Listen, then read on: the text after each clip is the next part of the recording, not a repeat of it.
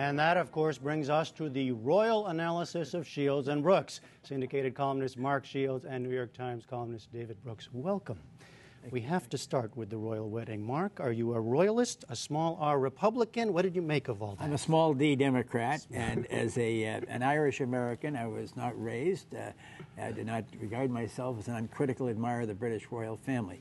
Uh, however, uh, at a, at, a, time of economic uh, trouble and uh, sort of down spirits, I thought this was a good news story with wonderful visuals today, mm-hmm. um, and a, a, a, very appealing couple. Uh, and you know, let's hope the happy ever after works. Uh, and, and, just one positive thing I do want to say: uh, Prince William, you know, is in military service. He's a, a rescue pilot, um, and he wants to go to Afghanistan. His brother did go to Afghanistan, uh, as did his three uncles all served, and it's a, it, it, really is an admirable tradition for those of uh, privilege and power uh, to do so, and I, I, wish it was something that, that prevailed on this side of the pond as well. David.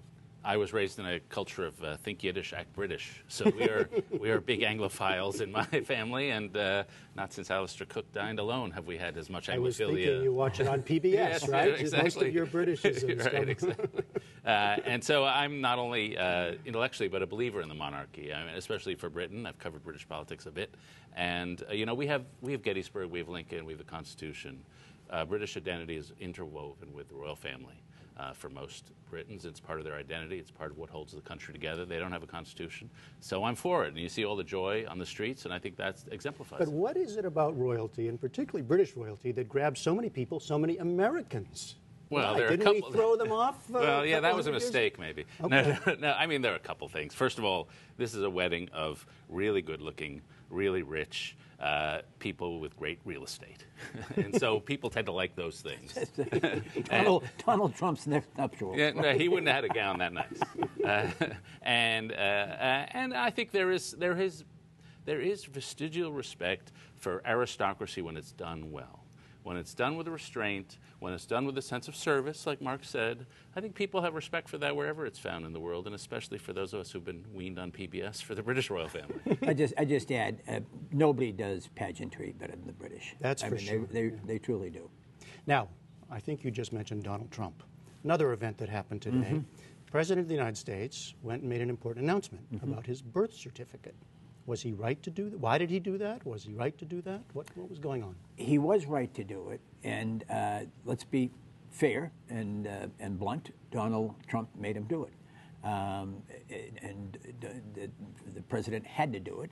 Uh, he had to do it. I, I, think all one has to remember is something that happened in this country seven years ago uh, called the uh, John Kerry campaign. And uh, we had the swift boating, uh, which became a verb, a gerund, uh, of uh, Kerry failing to respond and react to the charges. this was growing, and, and the concern among Democrats was that among independents, uh, there was sort of a growing sense of uh, this unrebutted. An unrebutted charge uh, somehow gains traction in our poisoned political atmosphere. And I think the president had to do it. Um, ideally, politically, you'd wait until that magic moment when you're on the same stage mm-hmm. with whoever the person was who was either tolerating the charge or making the charge and present it in Perry Mason fashion to them. Mm-hmm. Uh, but I, I, think they felt they had to, and it was interfering with his conversation and talking about issues that he feels are important to the country and to his own uh, reelection. What do you think? Were there, were there, he waited a while. Were there risks in doing it? Does it elevate Donald Trump? What, what? Yeah, I would have uh, released the document. I probably would have released it months and months ago, but I would have released the document maybe without the presidential press conference. Clearly, the document will, for all rational people, will settle it. It will not really settle it, but for most people, it will settle it uh, and so we can move on. Whether I would have had the president go out there, have a split screen with Donald Trump, step on the big news of David Petraeus and Leon Panetta getting appointments, and whether I would have him complain about the Washington debate. And this is something I know consumes a lot of his mind the aggravation with the debate in Washington. And sometimes it is aggravating. I, I, just think it's rarely a good thing for the president to complain about the debate, complain about the media you control a lot of the agenda. Just move on, talk about the serious stuff. Mm-hmm. So I would have released the document without a lot of the for the same reasons for the Swift boat. Uh, right, exactly. I mean, it was it gained traction with an amazing number of Americans, mm-hmm. uh, despite any evidence. And conspiracy theories and oddball theories have a strange purchase on the human mind. But do you so think it's done now? Is it buried? Is Well, it, it, it's done. It, David's right for, for the rational, uh, you know, majority in the country. Let's be very blunt about this. This this never was. It did- never had a factual premise to it. Um, there was a delegitimizing effort about the Obama presidency. They couldn't do it on the case of the election. He won overwhelmingly in the electoral college and popular. Uh, there there are no sexual escapades uh, a la Clinton that they can brand him with and, and accuse him of illegitimacy. There's no whitewater or financial dealings they've been able to find. I mean, if Barack Obama's father had been born in New Zealand, this never would have happened. I mean, let's be let- let's be very frank about that. I mean, the fact that he was born an African, his father, and was an African, uh, I think is is part, parcel, and central to this whole story. And nobody do you mean race or do you mean African? I mean, I mean race and Africa, Af- Africa and race Mm-hmm. synonymously. And I, I don't think there's any question. It's the only place at which they could sort of attack or make an attack. Um, I mean, Mike Huckabee, to his everlasting credit, the former Arkansas governor, whenever he's confronted on this by you know one of these fire eaters, says he said, "Do you think if this were true that Bill and Hillary Clinton wouldn't found out about it in 2008?" I mean, and it, you know, it, it's it's so irrational. Yeah, I also I, I agree with that. Though it's it's also there's a culture of a knockout blow. There's a dream that we're going to find something on each president that will knock them out, and it's never a policy thing. We'll knock them out with a scandal. We'll knock them out with this, and so people hunger for that one magic switch, which will make their political opponents go away. Uh, they're not going away. Now, Congress was out this week, but they were back in their districts, and some Republicans found themselves under some pushback, some pressure, particularly over the subject of Medicare. How, how, how big a deal was that? It happened in New Hampshire, it happened in Florida. Even Paul Ryan got some of it in Wisconsin. Big deal? New Hampshire, um, Pennsylvania. Um, it, it, it is it's a big deal in the sense that it's a bookend, uh, or at least a, the, the making of a bookend to what happened to the Democrats in 2009 in their town meetings when they had to, were put squarely on the defensive by angry constituents about the pending health care plan. You see a And comparison. a comparison, and at this time, Democrats said, well, the Republicans were organizing these things, and Republicans now say, well, Democrats are organizing these things. But in both cases, the, the, the people under attack, the Democrats in 2009, the Republicans in 2011, do not have a succinct answer. Uh, to uh, or two sentence, one paragraph response. I mean, the, the Democrats then say, well, it's only going to take effect in five years. Uh, well, Republicans saying this isn't going to affect anybody under 55, um, and it's only a blueprint. Uh, it isn't even legislation. I mean, that isn't exactly the way to get. That's uh, quite an uncertain trumpet. Uh, so, Republicans are, I think, on the defensive on the issue. What do you Well, think? they walked into it knowing that. I mean, they, Mitch McConnell used to present his colleagues with the polling data on what happens if you try to fiddle with Medicare, Medicare, and people do not like it. Uh, and so they walked in knowing this. I mean, they're they're getting pushback because they're going to eventually be cutting some benefits, and people don't like that. To me, the, the story, though, and we have all seen the polls for decades on the unpopularity of this sort of thing. To me, the story is how relatively un- unpopular it is. How, say that again. Uh, relatively, how relatively popu- un- unpopular. Yeah. In other words, so, for example, there's polling is mixed, but there was a Gallup poll mm-hmm. which had support for the Ryan plan over the Obama plan, and interestingly, highest support among seniors and lowest support among people in their 20s. And then on other polls, you ask people, who do you trust on budget issues? The Republicans are either advantage or, or equal.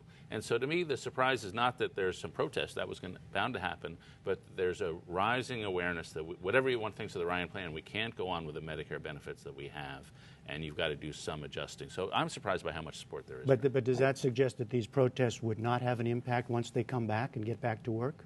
Well, uh, to me, I, I, I have literally argued that this is political. I mean, I said in the show the other week that the, this, the Ryan plan makes it likely that Obama's going to get reelected. I thought it would be that unpopular. Mm-hmm. I think I might have been slightly wrong that it's less unpopular than I would have thought.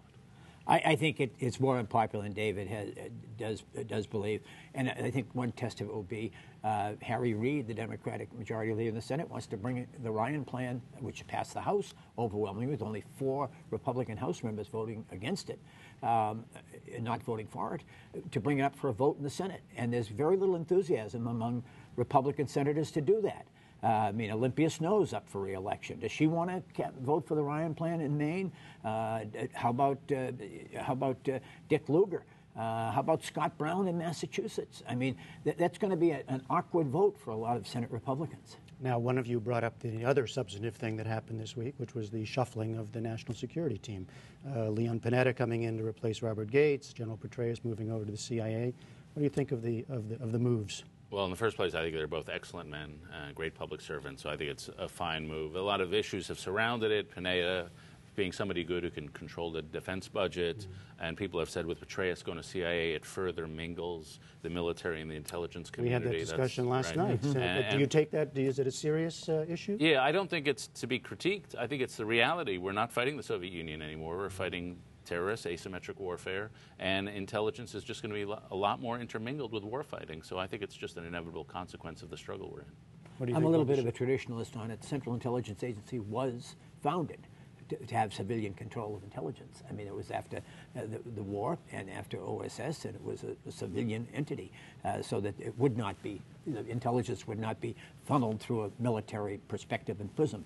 Um, I, am a big admirer of, of Leon Panetta's. Uh, and uh, I think General uh, Petraeus is, uh, is somebody, uh, given the dicey, difficult, uh, strained relations between the United States and, and Pakistan, I think he is. Uh, I, I, think he brings to it very special talent to try and work out what has obviously become open hostility mm-hmm. between the two intelligence services.